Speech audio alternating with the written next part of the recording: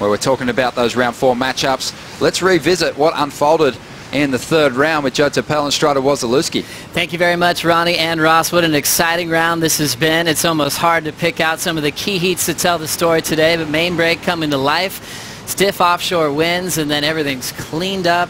The ripping's been through the roof, and we're so excited to go back through some of the big moments as we have round four heats starting to stack up. Joe Turpel alongside the Waz. Strider Wasilewski, you've been everywhere in the water and on the beach. How's your Sunday going? It's pretty good, Rover. Red Rover all over. It's been fun out there. These guys having fun. Look at these waves. Are you kidding me? Bang!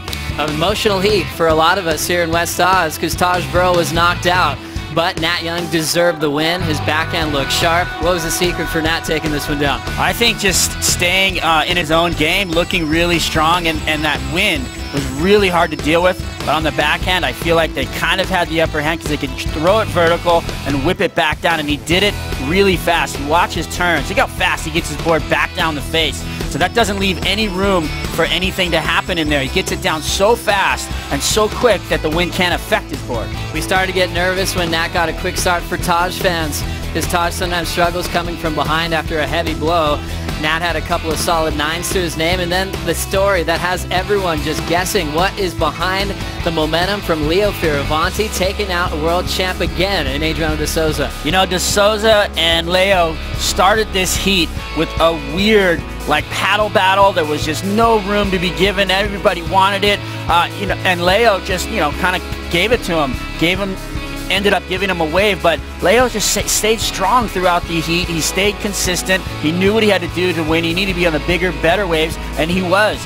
I didn't, you know, you can't take it away from De Souza though. He really put it to him, gave him a, the highest score of the heat, and uh, you know, looked really good. King's Heat getting better for the Italian superstar Leo Fioravanti, and then the best performance of Jordy Smith this season, the best performance of the round as he took out Kanoa Igarashi. Yeah, look at these turns, throwing up drop wallets, carves, just bashing away, floaters coming down, sticking it. That's what you got to do out there. You got to make it.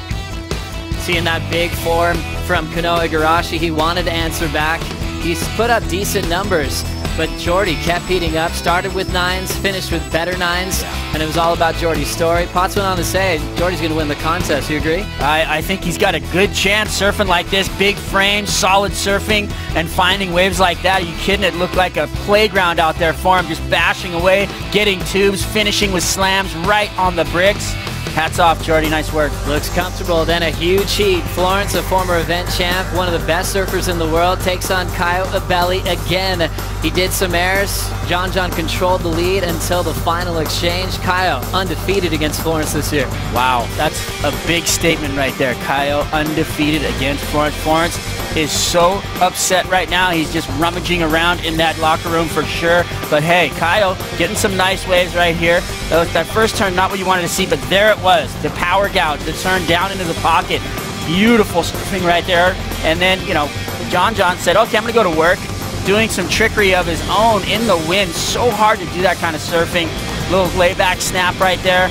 And comes around to the inside to try and finish up you know, as he's right in front of Caio right here, kicking out to get back up. But then the last wave of the heat, Joe, this wave right here, boom, grabs, lets go, rotates, kind of has to come back into it. Wasn't as smooth as I thought it should have been for the score. The judges gave him the score. 8-5 takes it home and the win undefeated against John John this year. Incredible performance from Caio. He's been tested against all sorts of surfers this year when he doesn't have the lead and every time he comes through with something more for the world's best and this time it's John John Florence again knocked out early from a contest where you expected him to win. How did you react to that result, or are you going to save it for the post show? I'm going to save it. I got some words for you guys, so make sure you stick around for the post show. It's going to get hot. The debate oh. show. It's more turning like at this stage. Obviously, honorable mention, Sea Bass Flores, another big post show topic as we send it back to Ronnie and Ross for the call.